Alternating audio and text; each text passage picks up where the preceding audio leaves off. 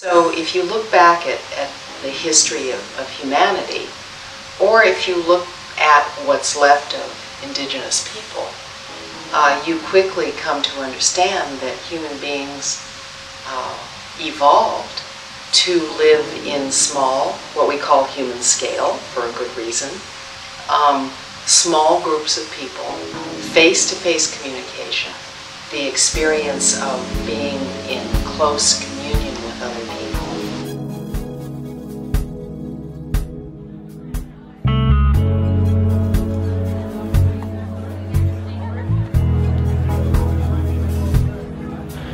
If the kind of hunger for materials that speak of a place and, and the human hand and so on are powering natural building right now. There is absolute starvation in the culture as it exists now for community interaction.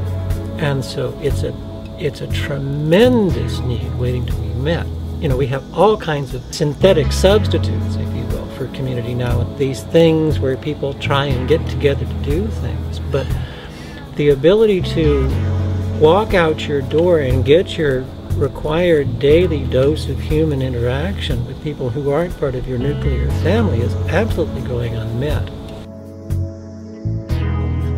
And so that's why that the work that's happening up in Portland with the village building convergence and city repair and so on excites people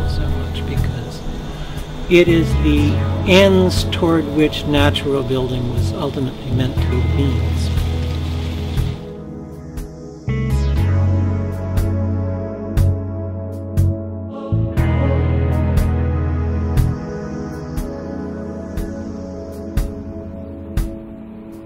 None of the people who have ever lived on this street or who will ever live on this street have ever had a say in how their lives would be organized.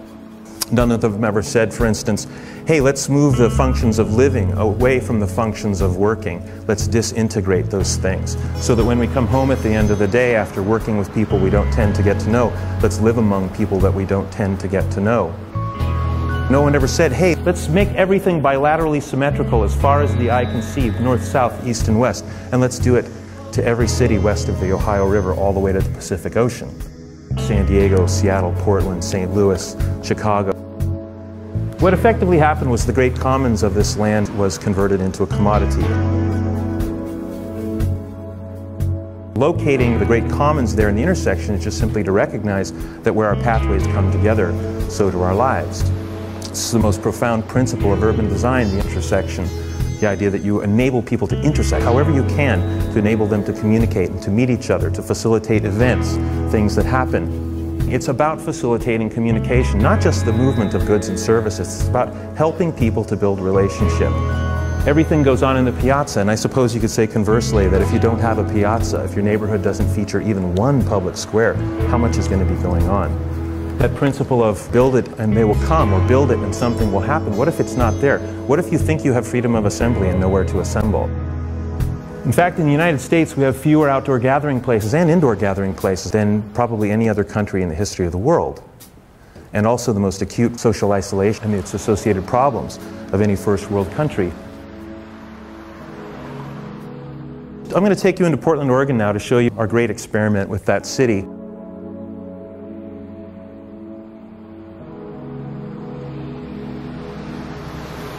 We looked at the city as a whole. We compared it to village-based cultures that have many more gathering places and ways to connect. We noticed by these comparisons that Portland alone was missing between 1,500 and 5,000 outdoor public gathering places. So we thought, okay, let's put one of them back and just see what would happen. In advance of this day, when we came out to paint the street without permission, we were building these little structures in an adjacent yard about a block away. A place for neighborhood news, a 24-hour tea station, a family-sized bench, a kids' clubhouse, a place for art and poetry, all these trading installations, a stage, and a little library. And of course, what we were doing was we were seeding a garden of the village. We were regrowing the village heart with all of the functions and amenities that you'll find. Go to Europe, go to Africa, you'll find all this vitality at the village heart. So we were saying, we can have that too. We ought to have it. What we were doing was calling attention to the fact that we didn't have even one public square in the entire city, not one public living room. But we built one in Portland And it had this incredible catalytic effect. It was so inspirational to a city that it had never even known what this could be like. It said that there is a place where we all belong, where time and space is not for sale. Um, it was so successful in building community, it's just the barn raising. It's not even a new idea.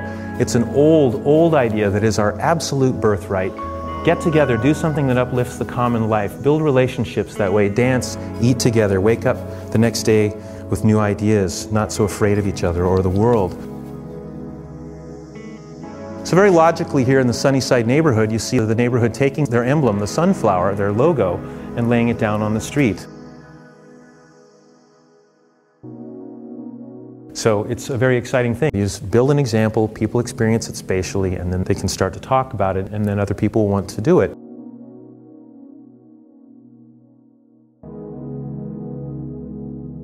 That location doesn't even need a stop sign. People just come to a stop or they slow way down. The way we understand the effect is that they can see from a distance that it's different from everything else. So place is used to calm traffic instead of barriers.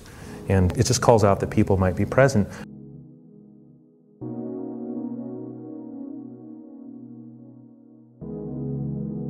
Those are small projects, and so are these. And each one of them is really a node. It's a way that people co connect, intersect with each other. It's something that draws them, attracts them, gives them something to talk about.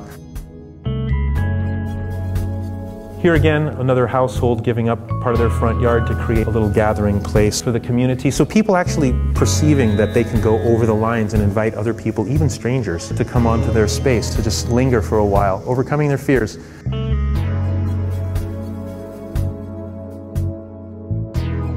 This is called the Memorial Lifehouse, where a young man named Matt Sheckle was crushed by a large truck that went through this stop sign. His bike was locked to the base of the stop sign, and people kept bringing flowers and mementos. He was very popular in the alternative transportation culture. His mother would come and sit on the corner and cry. And finally, one of the neighbors, the woman who lives on this corner, who had held Matt when he was dying in his last few moments, she came out and invited people to just take a piece of her property and make a memorial to Matt's life.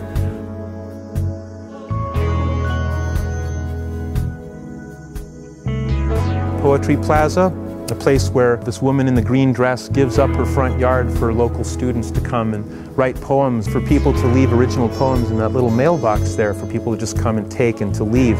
So this is where people are saying, I can give up this space that I have and enable other people to access it.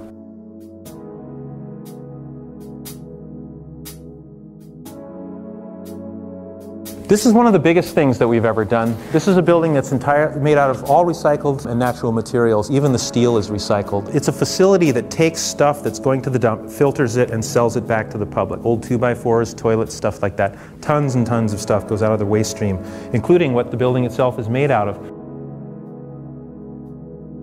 It's just profoundly important to embed our new understandings and visions and awarenesses as a society in the physical landscape around us so that we can see that our understandings are shared and that the world is changing.